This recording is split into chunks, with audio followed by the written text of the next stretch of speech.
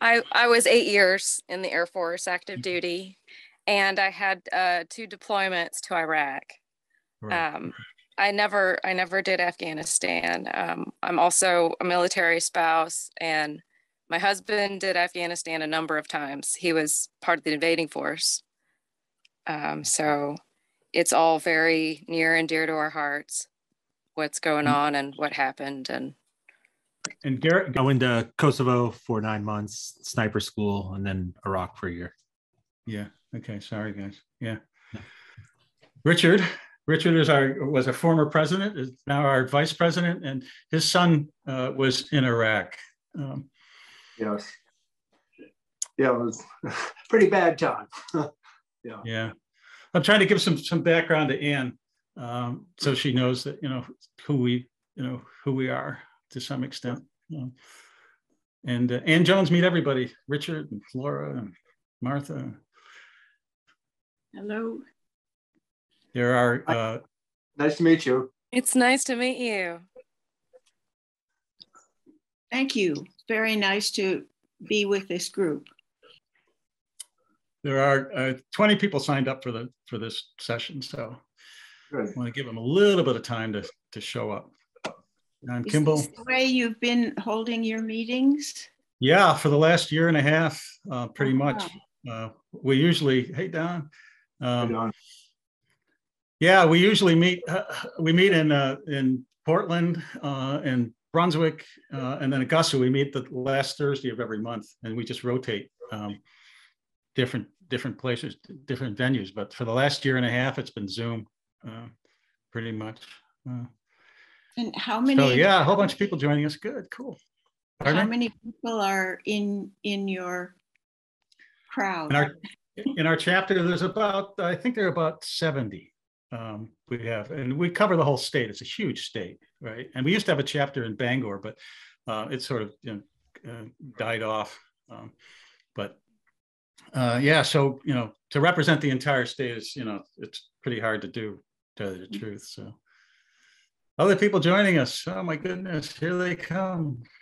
I was trying to introduce everybody to Ann so she knows who she's talking about. Don Kimball does this radio, amazing radio program down in uh, in, in Portland. Uh, Dan Ellis is our treasurer and our computer dude. University John of Southern Morris- Maine. John Morris is our secretary. Peggy Akers is our uh, former president of our chapter, and uh, uh, she was a nurse in Vietnam uh, and is still a very active nurse right now. Um, see Peter Morgan. It's Peter down on the on the coast there as well. He's the guy. He's our major connection to Moms Demand Action. Um, he'll be talking about that tonight a little bit. I hope.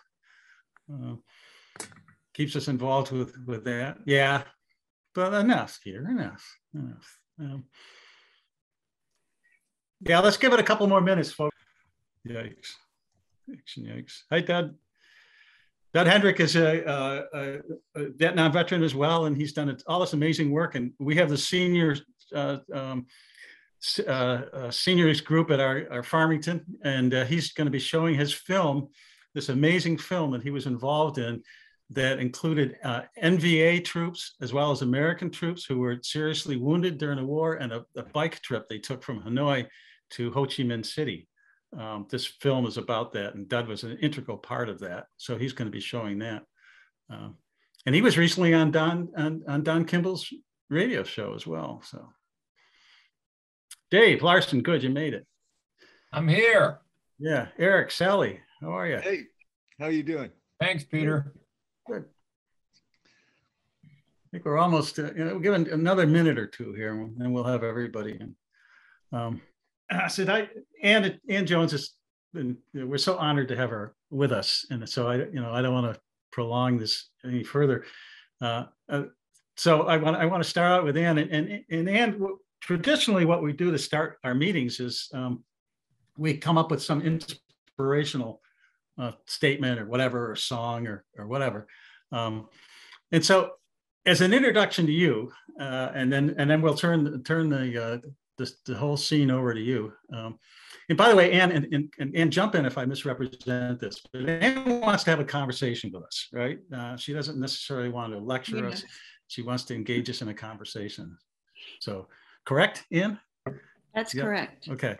Uh, so let me, you know, as an introduction to Ann, let me just uh, very quickly read the, the last paragraphs of her book, They Were Soldiers, um, which is which is was my I'd read some of Ann's stuff before, but this was my real introduction to to her her work, and I was I was just absolutely stunned by this book um, because it tells a story.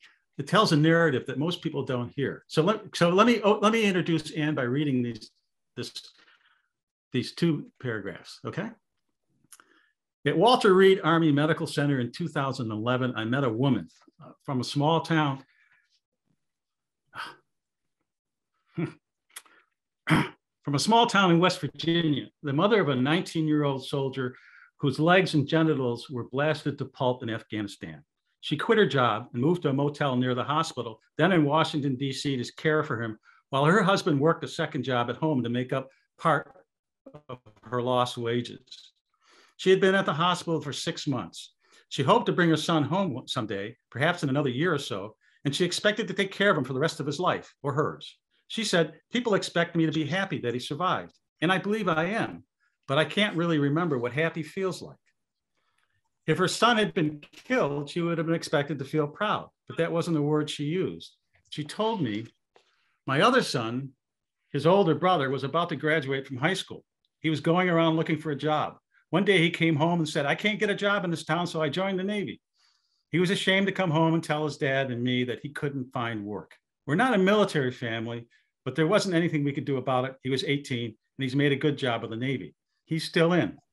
But then when our younger son was finishing high school, of course, he had to outdo his big brother. So without telling us, he joined the Marines and bam, overcome, she sat quietly for a few minutes, looking at her hands, collecting herself. Then she turned her eyes to me again and said, We don't know how any of this happened to our kids. Say the name of the book again, please, Doug. The name of the book is They Were Soldiers How the Wounded Return from America's Wars, The Untold Story.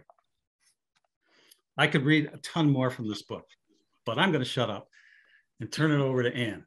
Ann, welcome, and uh, it's yours. Thank you very much. And um, I hope we can have a conversation about um, Afghanistan and other wars. Um, I had to read, um, for other reasons, I had to reread the book that Doug has just read from. Um, as I was, uh, after I had written a piece um, that's going up at uh, TomDispatch, um, which some of you may know, a website that's affiliated with the nation. And that will be going up next Sunday. So I, my experience, um, let me see where to start with a group of people who have no idea who I am or why I'm here. Um, my experience was um,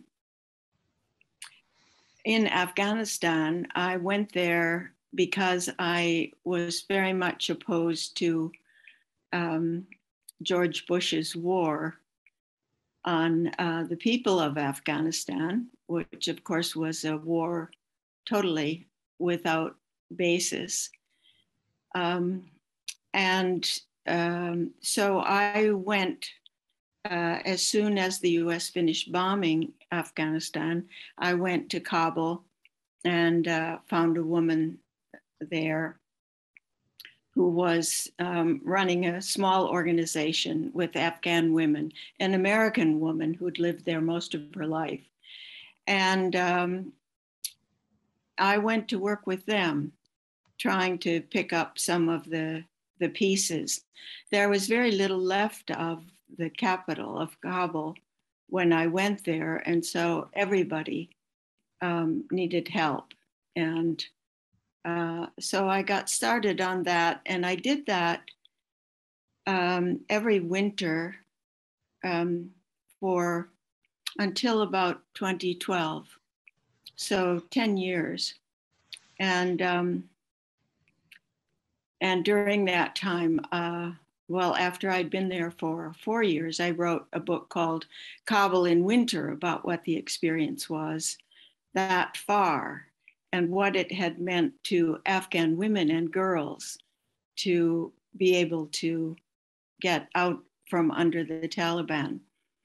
And um, now, recently, of course, um, well, I've been in touch with my friends in Afghanistan and been back for brief visits um, up until a couple of years ago. Well, up until the pandemic. And um, and I'm in touch with my women friends still in Afghanistan and with others whom I worked with for years uh, who are now uh, confined at Fort McCoy in Wisconsin, along with some 13,000 or more other Afghans. They've been there since August. Um, one, one of those friends is a, a woman named Mary Akrami, who was one of the founders of the, the wonderful umbrella organization for all the women's organizations, women's rights organizations in Afghanistan, the Afghan Women's Network. And that was thought by our State Department to be such a great achievement. And the State Department was so proud of how Afghan women had taken command in the in the cities.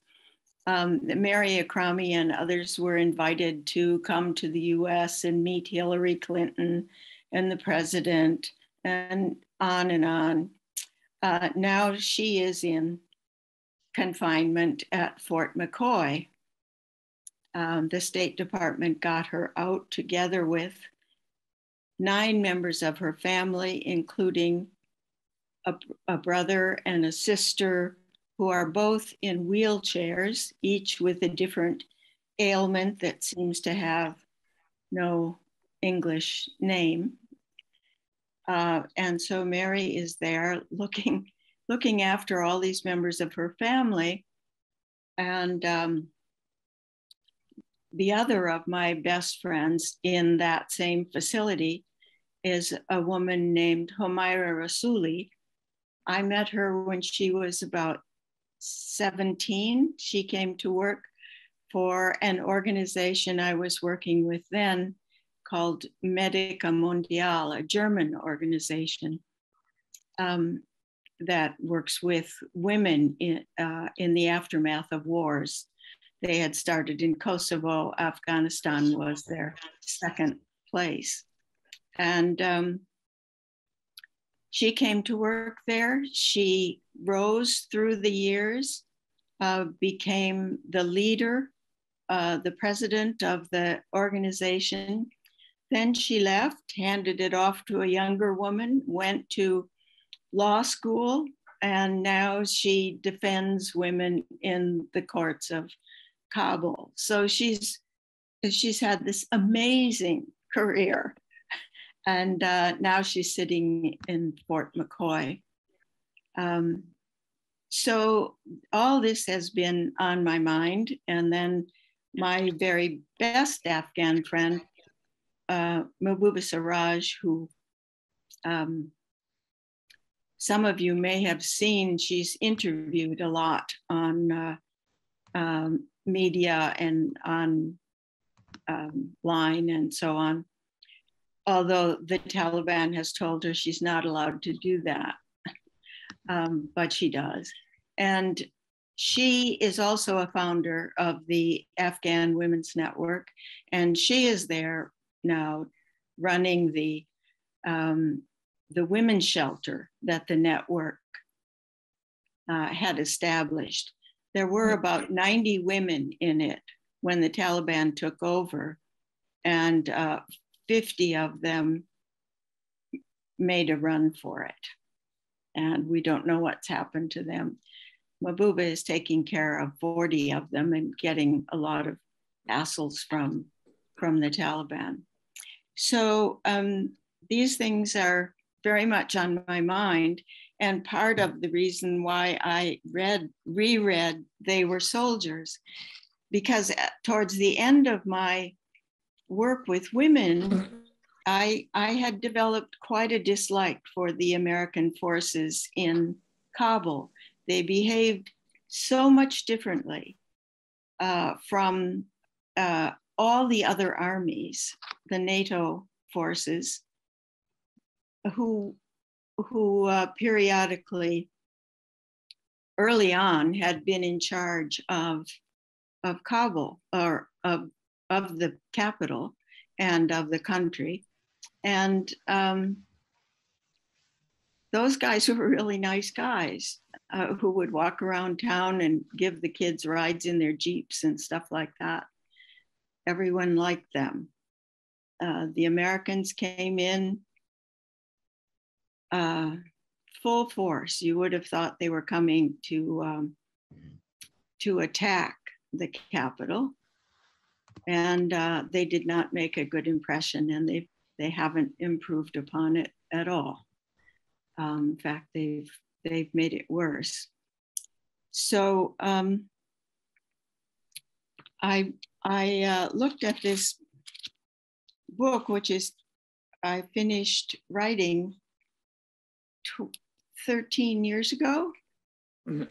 They were soldiers, and um, I found that all the arguments, all the problems today that people are discussing about uh, America's leaving Afghanistan, um, all the indicators of why we should leave and why this was an okay time to leave and all of that. It's all in my book that I wrote 13 years ago. Uh, so we've been wrong in Afghanistan for a long time.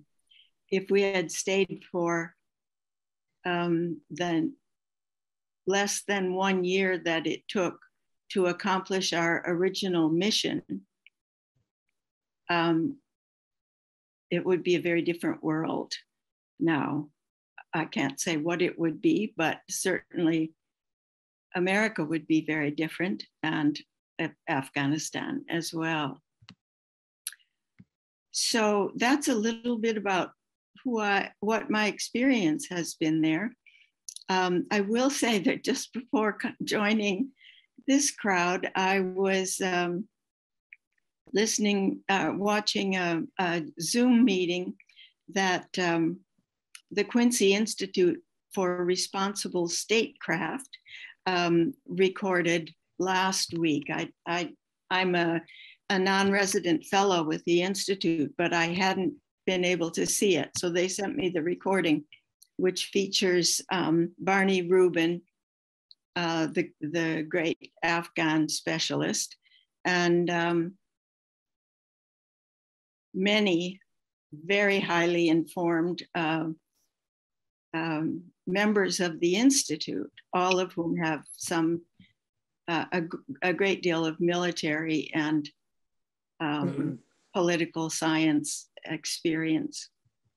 And um, I was very interested in the discussion because they all had to comment on um, how this removal from Afghanistan could have been done better, could have been accomplished better, and what their expectations had been for why it wouldn't possibly go this way. And all of them said that they never could have imagined that the the um, American that the American trained Afghan army would just collapse, or that the government would run away. And um, so they were all taken by surprise.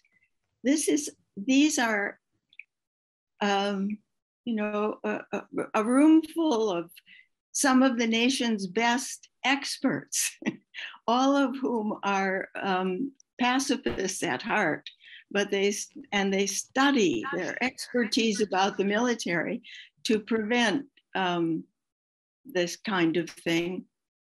And every one of them was wrong. They were absolutely wrong.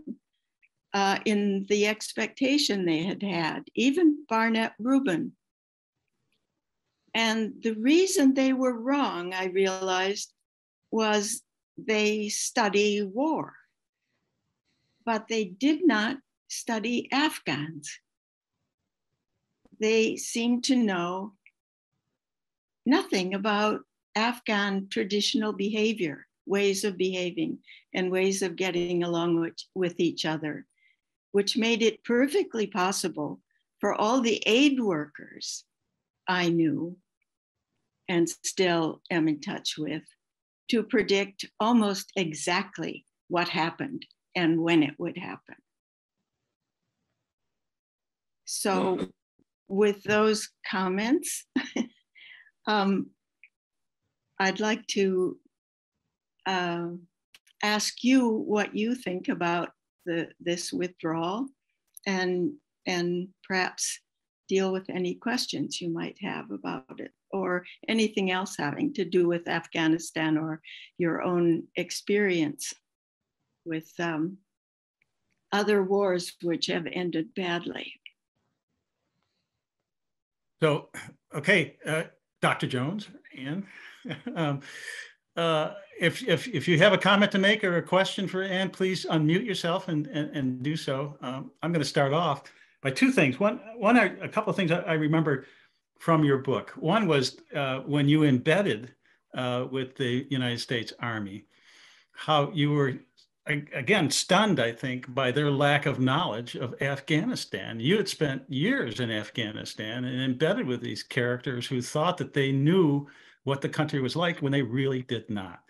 So this seems to be just like what, what happened to us in Vietnam. I didn't know anything about the Vietnamese culture at all, period. Um, and this looks like to be, it continues to happen, right? And I'd, I'd like to know, uh, you know, uh, from our, our, Iraq war veteran guy, people, uh, you know, if they were in fact informed about what the Iraqi culture was like or anything like that. Does that happen? And Ann, please expand on that if you wish. Well, uh, it's uh, the things that are most notable, I think, since enlisted people take their cue, I would imagine. I've never been in the military myself, but I would imagine that you take your cue from your officers. And if the officers don't know anything about basic etiquette in the country that you're trying to pacify, um, what do you do? um, so things like when you go to the to the countryside to talk to the people who you think you have just liberated and you walk in to the meeting of, of men, the village el- elders, all mm-hmm. gathered in a circle, seated on their very best carpet, under their very best tent for you. And you walk in with your muddy boots and you stand on the carpet and lecture them about the greatness of America and how grateful they should be, and then walk out, you do not make a good impression. And in all those years, they'd been there.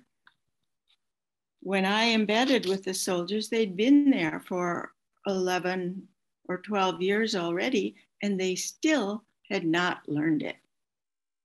And when they got women soldiers, they put the women soldiers, American soldiers, they had them to make a good impression on the locals because they had decided the men weren't giving them any information. Maybe the women could get good information from the women. So they started women's groups that of soldiers that would go and visit with women. And they got them what they thought was uh, hijab, such as Afghan women.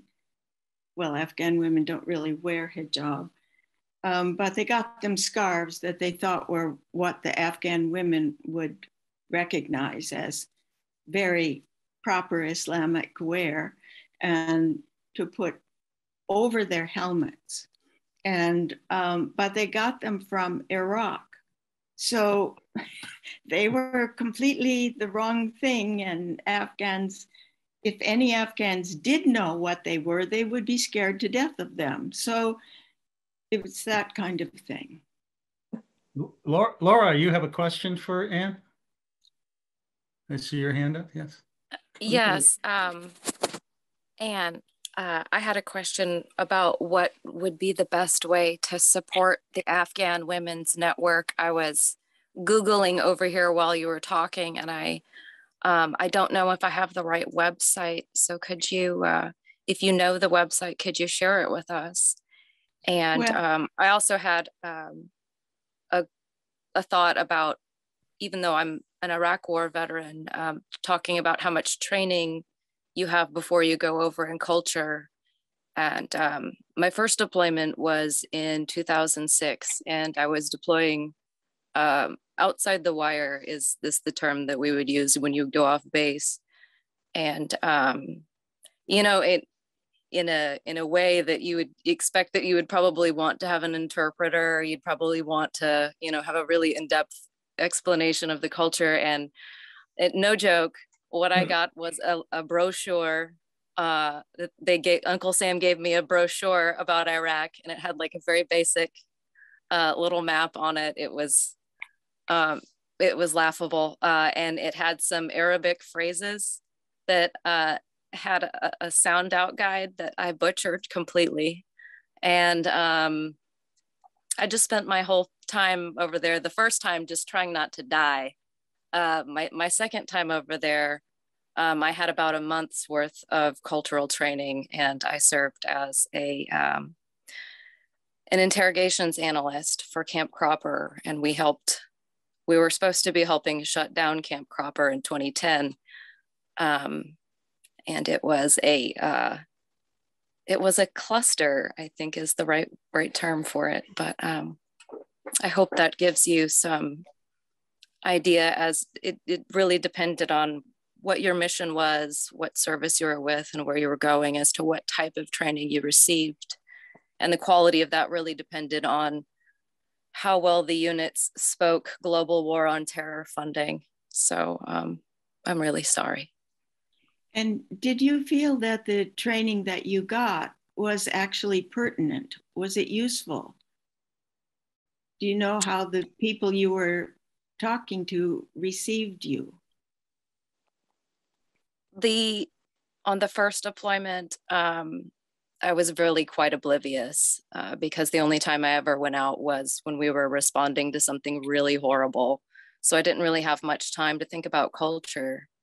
Uh, but the second deployment, I actually learned the most from our interpreters who were from places like Jordan, and um, my my guy was from Jordan. He was um, he provided a lot of. He was in his seventies, and he smoked long stemmed cigarettes, and he looked like something straight out of a noir film. He was wonderful, and he taught me so much about um, just customs and courtesies and you know the the challenges of being a woman in a male dominated culture where you're trying to appear knowledgeable uh, there was a lot of lot of interesting cultural exchanges going on there And getting that cultural information, did that help you feel more, less nervous? Did it help you feel more like you knew what you were doing? that's a hard one to answer because um, I think I could have spent a hundred years there and never really understood because I'm I'm a white woman from Texas and I have I do not possess that ability to really fully appreciate that especially uh, you know this was ages ago this was in 2010 so I was you know in my 20s um, the I was lucky that I had my head on straight as much as I did back then. So um, I certainly wasn't prepared to be uh, diplomatically representing anyone, much less um, dealing with people that weren't being given due process. And that was a hard one to realize. Sorry, I'm veteraning and so boxing at you. I apologize. No, you're not. No, no, I, I appreciate your. I appreciate your comments and I understand that feeling. And I don't mean to say that I became an expert at, um, at Afghan manners, but uh, I do think that this very simple things that can help people from making a, a really bad first impression um, are things that are pretty easily taught. And in all those years, as far as I could see, were never taught to our, our people in Afghanistan. And um, Hmm. we paid a price for it, and the Afghans certainly did too. But Don Kimball has a question for you, Ann. Don? Yes.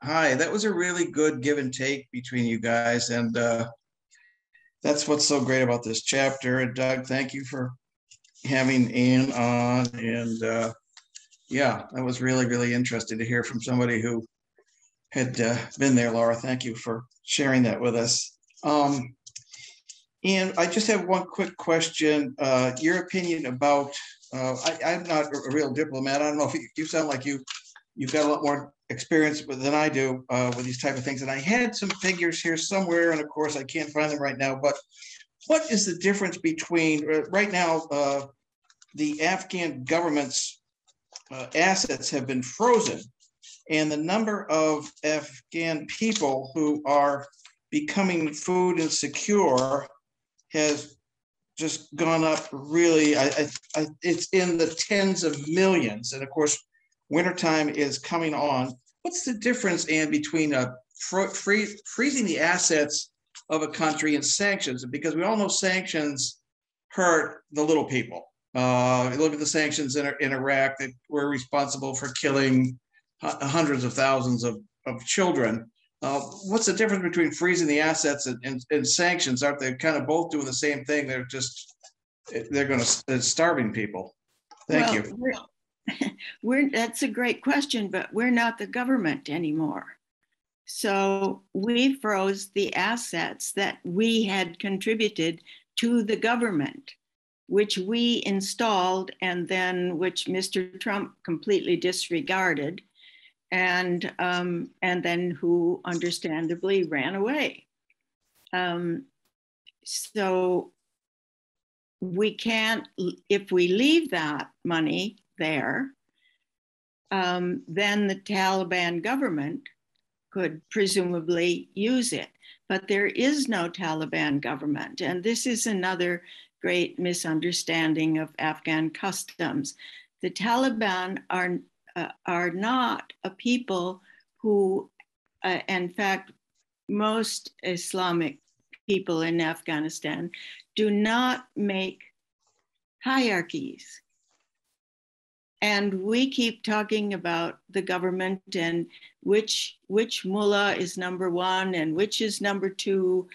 And we had a great furor about the fact that when the leaders of, of this new onslaught of the Taliban actually did meet in the palace, and uh, because they had to present some sort of uh, list of their leaders to the public.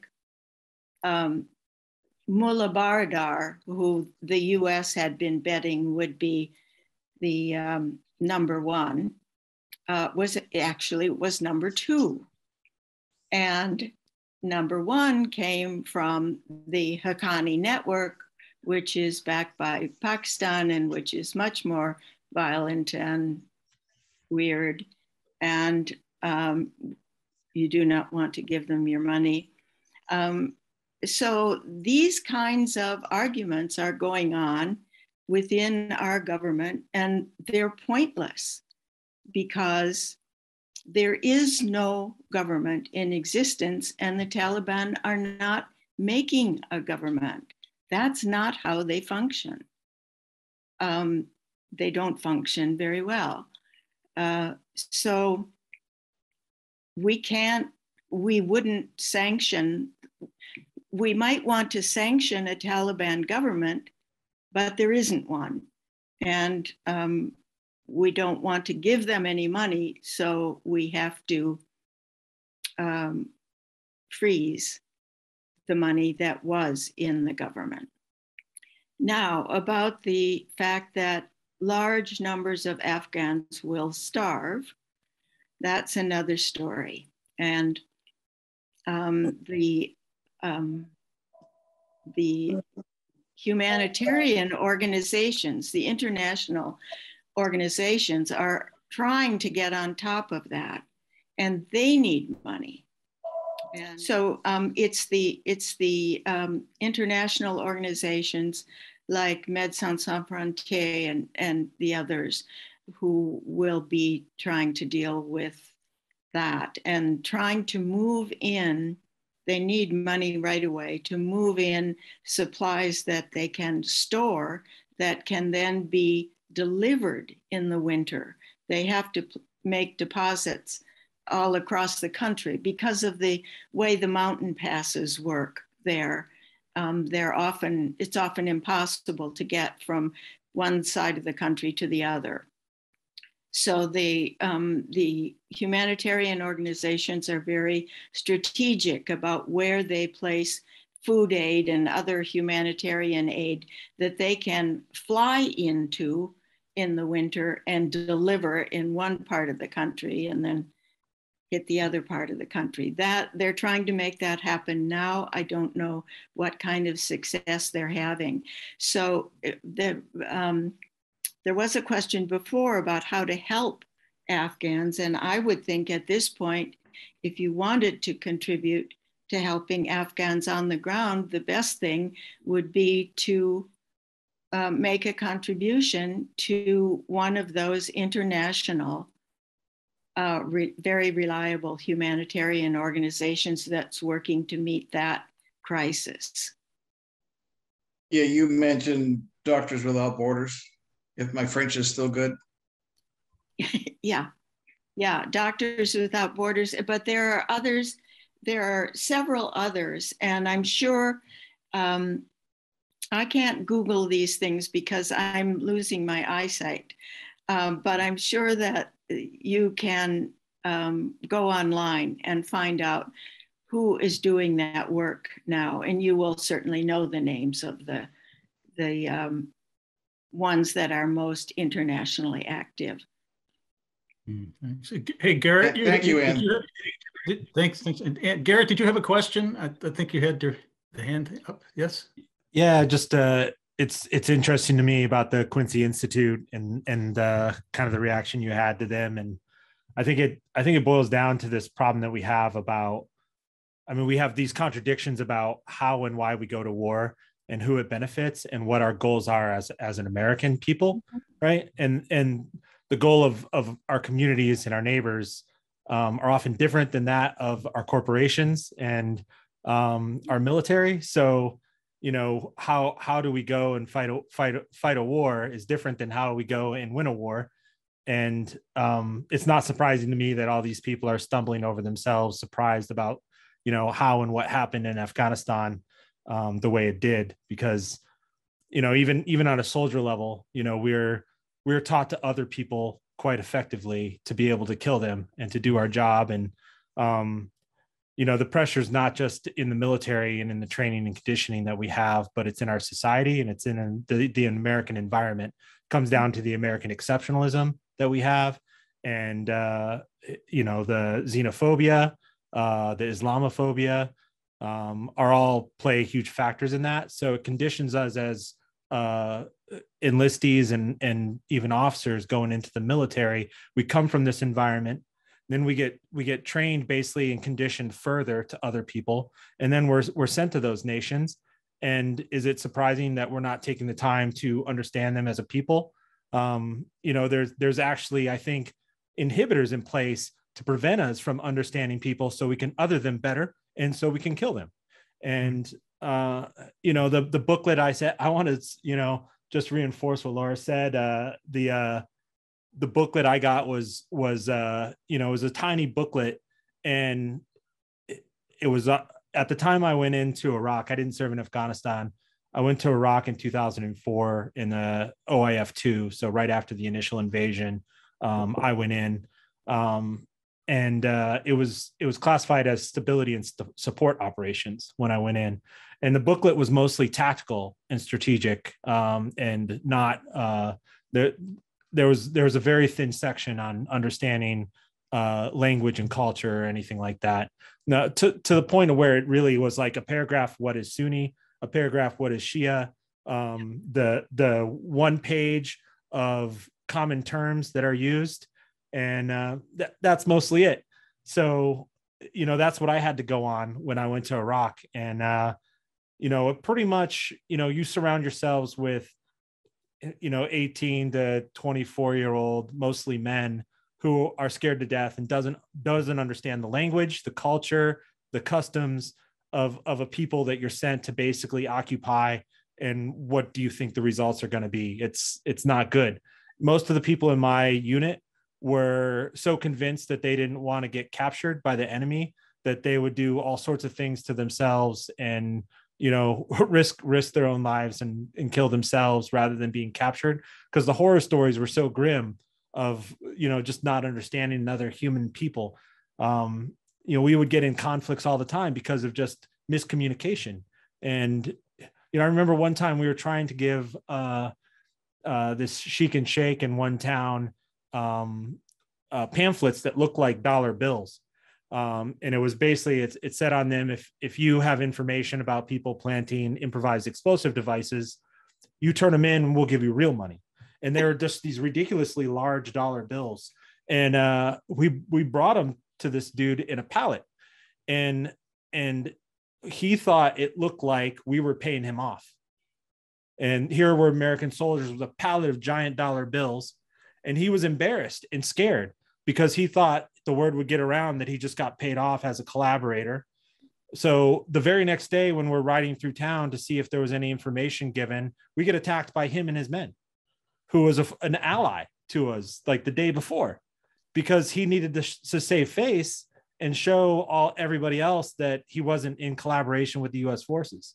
So now here we're in engagement, getting U.S. soldiers killed and his his people killed over a miscommunication error.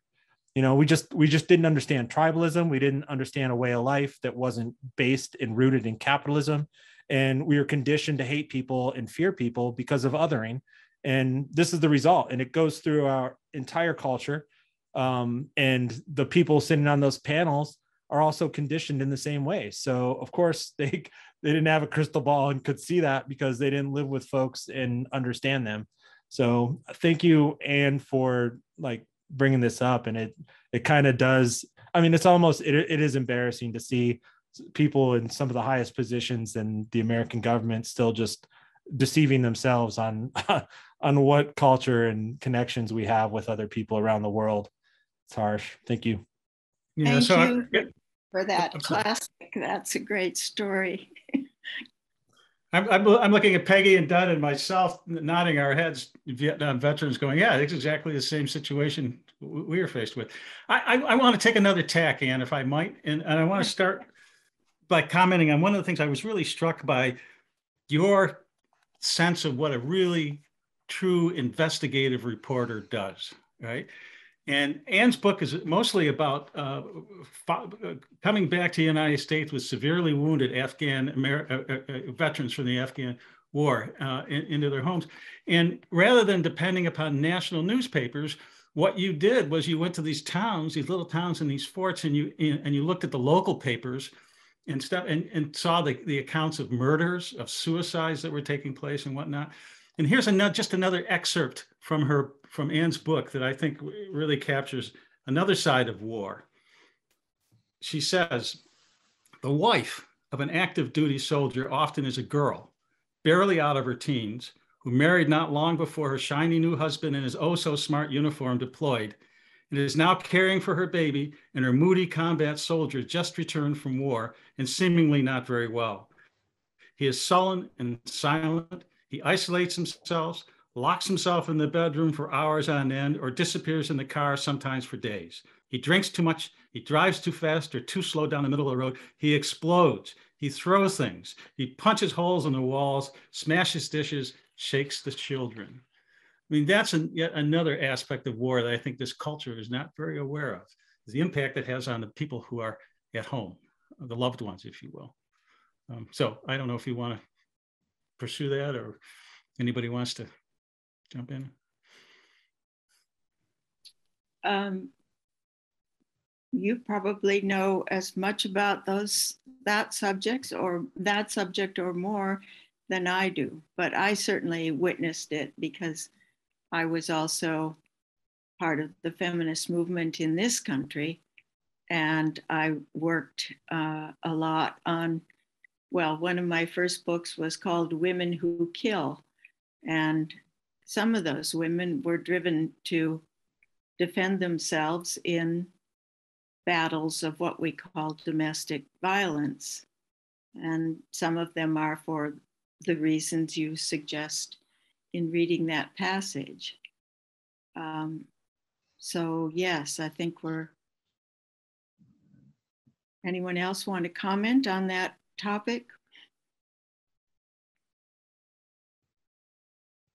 Uh, Okay. yes, I, I think that, um, sorry, my camera was off. I think, um, most veterans can attest that, uh, we've had multiple marriages, most of us. I've been married three times.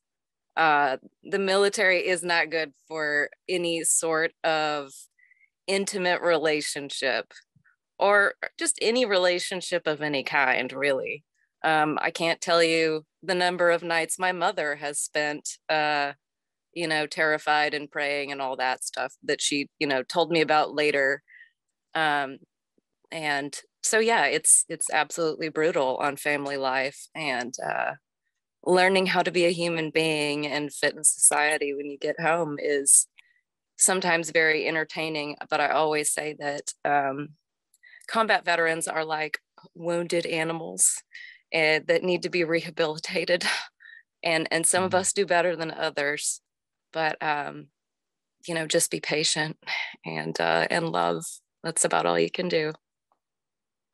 I- You know, I- I'm, I'm sorry, I'd go like to respond to that by saying um, that's a familiar familiar story to me too, because my own father fought in World War One, where he came and came home with all sorts of medals and all the demons that come with that kind of conflict. So I grew up in a household under a father like that, so I can understand.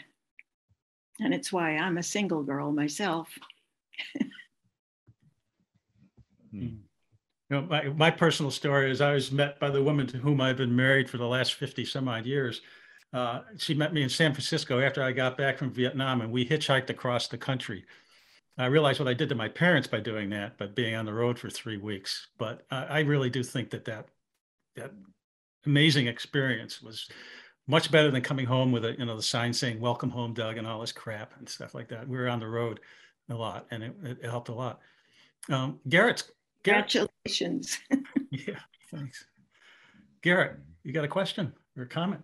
Yeah, I just uh, I just found that book that I was talking about. Oh, First Infantry what- Division Soldier's Handbook to Iraq. Uh.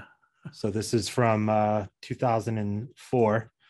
Um, the book has I don't know about 80 pages in it, and these eight pages here are the consists of w- what's called Arab customs and culture, part three. Um, so that's this is what I got when we actually are able to meet in person one day um, and have a physical uh, chapter meeting again.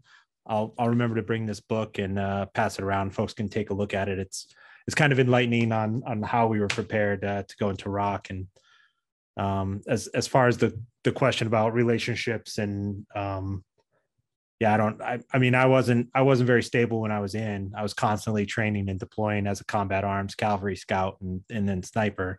Um, so I didn't really have time to meet anybody or or start a family. And then after I got home, it took me about seven years to really get my head screwed on straight enough to have a relationship. But I probably, because of my moral injury, um, I didn't. I, I was in a place where I didn't feel like I've I deserved any sort of happiness. Um, so I pretty much sabotaged any good thing that I had um, for almost seven years, whether it was uh, family, friends, um, romantic relationships, jobs. Um, so it was, I was pretty much a mess. I, I, never stuck a barrel in my mouth, but I put myself in a lot of high risk situations uh, where I, I'm surprised I'm not dead. And uh, I, I would never have, uh, ne- you know, I, I, certainly wouldn't have prevented it from happening. So, um, yeah, that's that uh, passage kind of struck me, and certainly there are, uh, you know, the the military is a, a, changed place, but some things never change, as we know from our Vietnam era folks to to my generation of of service members. Um, we're going in far too young and uh, coming out uh, far too damaged. So, yeah, thanks, Ann. Can I raise another um, topic because um, uh, and and thank you for that those comments. It'd be interesting to find out if the those Arab customs really apply to Iraq.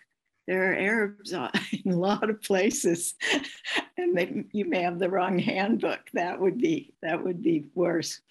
But um, I'm I am particularly angry right now because um, if I if I could return to the fact that I wrote my this book um, more than a decade ago, and that we still stayed and made that war.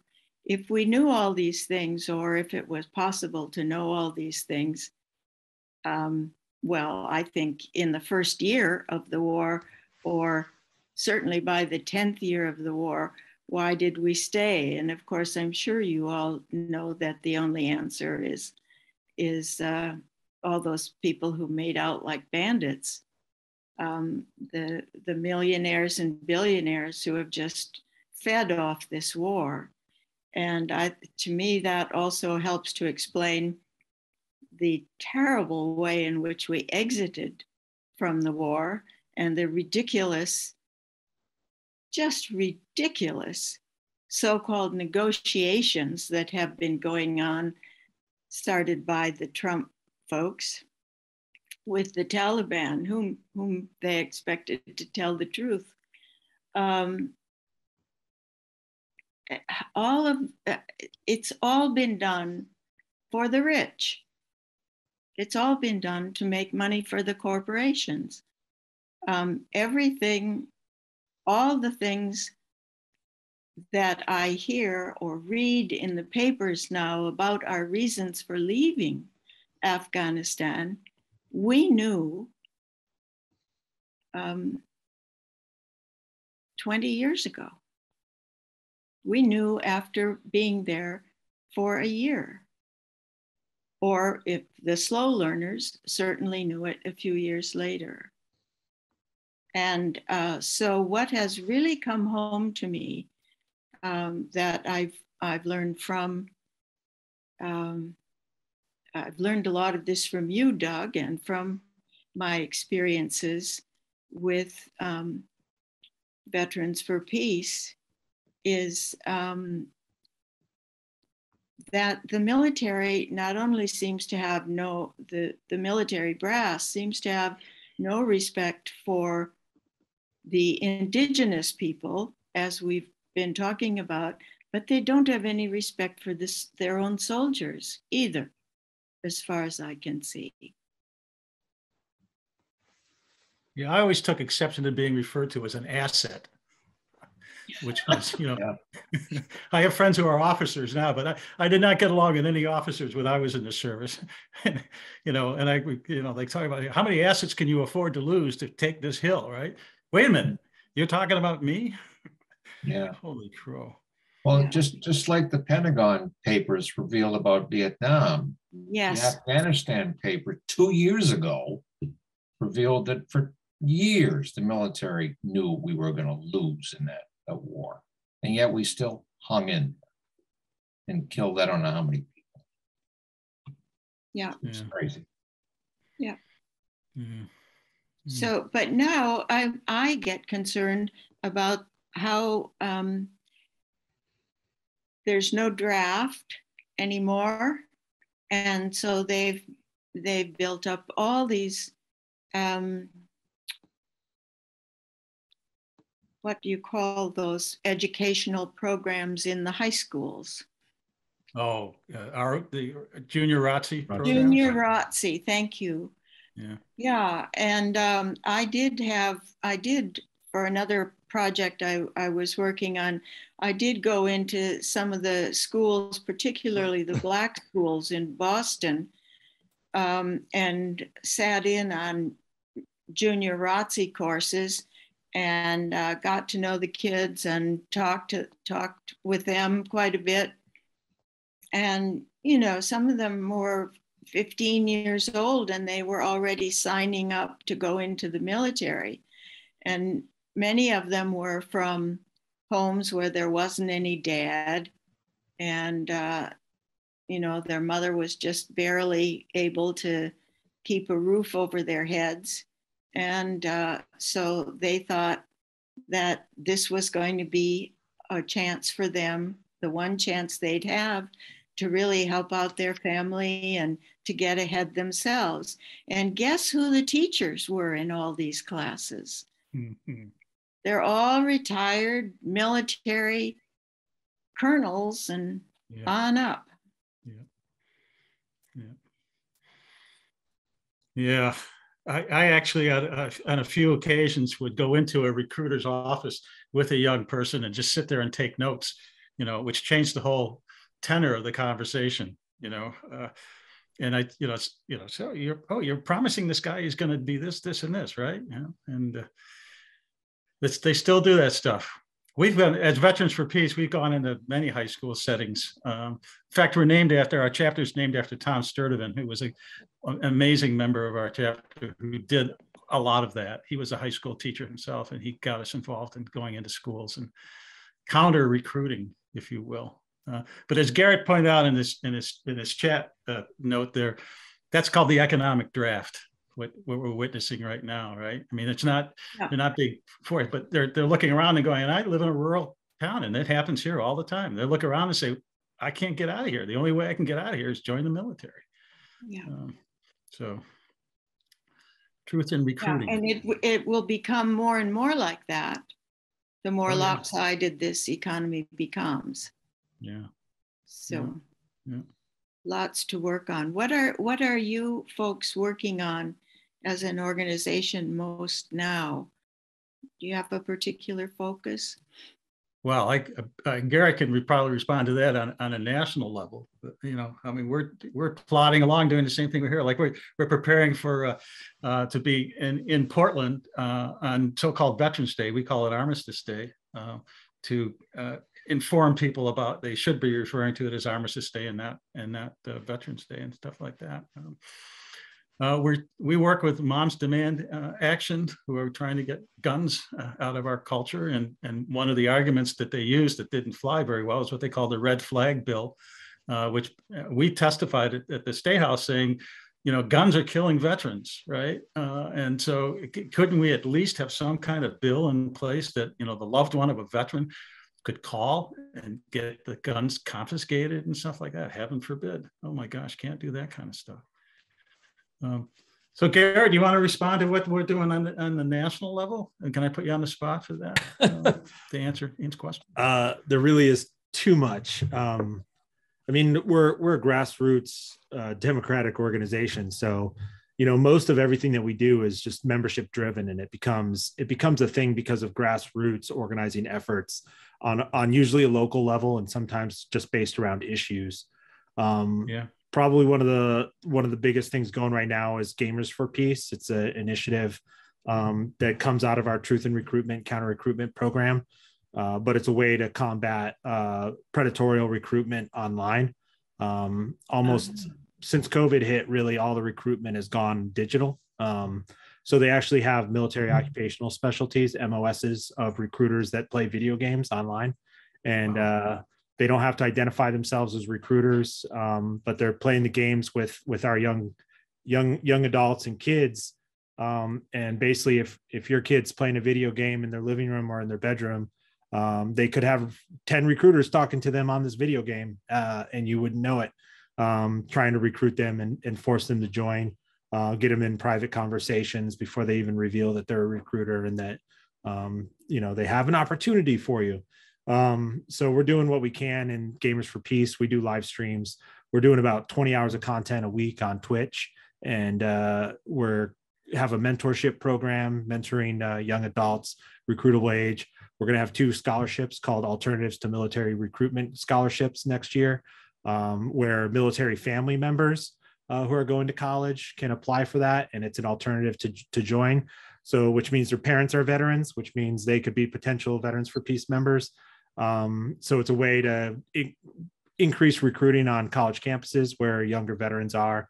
And also there are younger veterans uh, and active duty playing video games that uh, we can recruit as well. So um, gamers for peace we've got a strong discord channel. Um, there's a kind of a community of solidarity there that people are going to and recruitable adults are going uh, recruitable kids are going to um, to have conversations with our veterans. And um, there's a lot of organizing around that um, our climate and militarism project is pretty big right now. Um, it's basically trying to expose the fact that the us military is one of the largest polluters uh, on the planet and uh, that they not only not only is their carbon uh, footprint really large in their energy use, but they also um, are the chief protectors of exploitative uh, and extractive colonialism around the planet, and uh, train and actually uh, intervene on uh, any sort of popular resistance against uh, resource extra- extraction.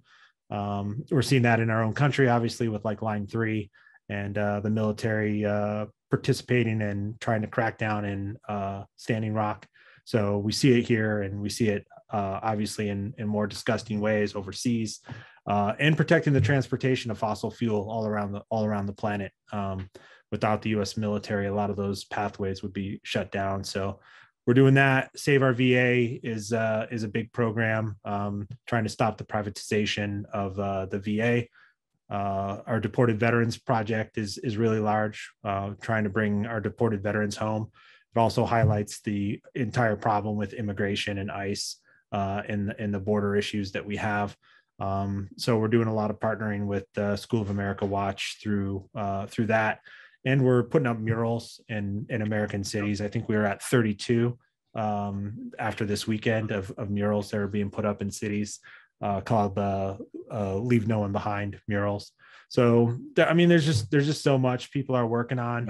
Um, the Creech Air Force Base and the drone uh, drone stuff. Yeah, in yeah, too, yeah. I just got back from being out at, uh, at Creech Air Force Base, the home of the hunters in the middle of the Nevada desert. Uh, Don is a, regular participant of of that, but. Uh, we just got back of doing seven days of protests, shutting down the base. I think we shut down the gates uh, three times while we were out there. Uh, did I think seven demonstrations total. Um, one of them in the middle of uh, Vegas in the in, on Fremont Street. We did a an art action, um, and uh, we actually uh, we created these QR codes. I don't know if y'all know what a QR code is, but if you scan this with your phone, uh, it takes you to a website called askvets.org. That's a direct letter to drone operators. And uh, we were handing out donuts with these napkins uh, free donuts to uh, service members on Creech, telling them they could go to that website and get information about how to resist and how to blow the whistle on drone operations, just like our hero uh, Daniel Hale. So, um, so yeah, we're we're always busy doing something, um, whether it's yeah. local on the ground, you know, with with Maine uh, doing so much at the uh, at the ironworks and and uh, trying to clog up the military industrial complex or whether we're doing national calls to action, uh, joining people people over Pentagon to uh, oppose the military budget or uh, push back against the AUMF. Um, we're always we're always doing things. Great. It's That's great having you here. Thank you so much, Garrett. That was wonderful. yeah, that was amazing. And this, um, I don't know how to do the raise your hand, so I'm just going to talk. Uh, I just want to say thank you so much, and to Laura and Garrett for sharing, you know, such hard stuff. Um, I just wanted to respond to Garrett about the gamers. We just lost one of our not lost, it didn't die, but one of our homeless teens just, that's how I asked him how he, the recruiter was getting hold of him. It was through exactly that, you know, through the gaming. And now he's in the Oh. military. He's at basic training now. It's like, you know, it just breaks my heart, you know. And um, and then when you were talking about Ann about the indigenous, you know, I remember, you know, like in Vietnam, like we learned nothing about the Vietnamese people, and even the even the soldiers that were fighting with the Americans were they this, when they were wounded they they didn't use their names. They called them mickey mouse one mickey mouse two you know goofy one goofy two. They had they didn't even respect them as people. And they were the soldiers that were fighting with the american soldiers it was it was just it was just really horrible. And then doug when you were saying about the um the you know about veterans day you know we wrote that letter to the entire city council in portland and um, not one single response, not one. And that was two weeks ago about inviting, you know, if we could be part of the parade and part of the speaking, nothing. I mean, that's the whole city of Portland, Maine. City Council didn't even respond to you and me who signed it. I, you know, so that's where, you know, that was pretty painful. And anyway, but thank you so Want- much. Want to march in the parade? Go wa- march behind the parade with a big sign saying, we were not invited. But here we are. That's, we should- maybe we should do that this year. Trust me, we've been in that parade. We don't march, by the way. We you know, we dutifully walk. or Walk, purposely okay. walk. We we've get, we ain't marching anymore. but well, we've been kicked out of that parade a couple of times. Uh, one story I love to tell is uh, they one time the, the council said the American Legion runs this damn thing, right? And they asked for uh, they they set up uh, signs along the main avenue in Portland with the and they wanted to you know placards of names of of people who were uh, killed in the Iraq War. Um, obviously thinking soldiers. We said that's a great idea, and we we submitted, and they cost a hundred bucks, but we submitted the name of a six month old Iraqi child, Uh, and they went ballistic when they saw that. They went nuts, uh, and they kicked us out. All right, Mhm. which gave us a perfect chance to you know write letters to the editor and say, how can you kick veterans out of a Veterans Day parade? Blah blah blah. We won it, uh, and they had previously we were the last. We were at the end of this parade for countless years, right? Um, the street sweepers were with us. But after that, we said we want to be up front, and we got up front.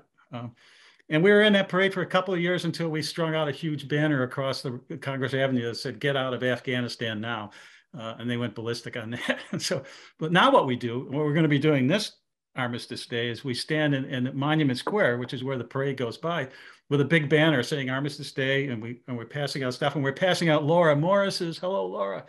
Amazing cartoons that she's made about the F-15 um, and the cost of that and what an impact on our culture. So we're we're kind of doing that kind of stuff. That's great. I'm glad you're all out there on the case. Don, did you? Oh, Don, did you have something? I think you had a hand up a while back. No. Yeah, well, you know, Garrett did such a great job. I just wanted to mention there's also Veterans for Peace has a military trauma working group, and the Brown, led by Brown University, the Cost of War Project has found that thirty thousand veterans and military people have chosen death by suicide. It's just hard to say. It's hard to say the words. Thirty thousand over the past twenty years have chosen death by suicide and this is definitely on Veterans for Peace radar. The the military sexual trauma, the post traumatic stress disorder, the moral injury, the traumatic brain injuries, uh, and not to even mention you know, the physical injuries too that all contribute to this. It, it's an epidemic. Uh, averages between 17 and 22 a day. Veterans a day uh, choose death by suicide. And I'm I've been reading that more are choosing that way because there's been um, so much attention paid now, or more attention is being paid now to how much this is a war that enriches the people at the top, and uh, and doesn't really care about the fate of the enlisted people. Yeah, that's at the heart of the definition of moral injury, right? It's betrayal. Yeah. Yeah, It's a of be- a real betrayal. yeah, Uh, and absolutely. yeah, many of us feel true. that way about it. Uh, I'm I- volunteering at this place, Travis Mills Foundation, where they work with uh, veterans who have been severely wounded. And I was there making lunch and handing out lunch the other day, and there were eight. Uh, they bring them from all over the country, and eight, eight Afghan veterans were there, and, and the average age is 35. Um, and th- these these poor guys, I mean, they just they they look like deer in, in headlights. They were just so so strung out. It's it's hard. It's really hard. Yeah, yeah. And you know, just to return for, for a minute be, be, uh, to the topic we were talking about before of the, the fact that you don't know anything about the country that you're in. Um, one, the reason that the exit from Afghanistan was as terrible as it was um, is that they, you know, all the predictions, and this goes back to all these experts that we've been hearing from, um, predicting that uh, the Taliban might get to Kabul in three years, or it might be able to take Kabul in even two years. Or the last one I heard was maybe even in less than a year. But um, Afghans, when they're fighting, all Afghans, when they're fighting, if they know they're they're going to get into a bad fight and probably aren't going to get much out of it, they meet and talk to each other and work something out. And one side gives up and the other side says, okay, bye. And that is exactly what the Taliban did as they encircled the country this time. They, you know, President Biden saying, if these people are not going to fight for their own country, we're not going to fight for it. They wouldn't fight for that. They wouldn't fight against the Taliban because the Taliban were stronger. So they meet with them, they talk to them, they surrender. The Taliban goes on to the next city and does the same thing. And so those of us who know Afghan culture were just had a finger right on the day the Taliban was going to arrive in Kabul. And we were right, I'm sorry to say. Um, so uh, I, I, um, I know you want to get on with your meeting. I hate to end on that sad No. note after all the all the good things you were talking about that you're accomplishing and you know raising a little hell. Um, I'm I'm so glad to. I'm supposed to be on the board of this organization, but they never send me any information. Oh, we're, Um, so I, I'm glad that you're bringing me up to speed here a little bit. And um, uh, I'm so proud of all of you and what you're doing. Thank you so much. Thank you. Thank you, Ann. Thank you. yeah, and, and we're just so honored to have you have you with us. It's uh, it's been exceptional.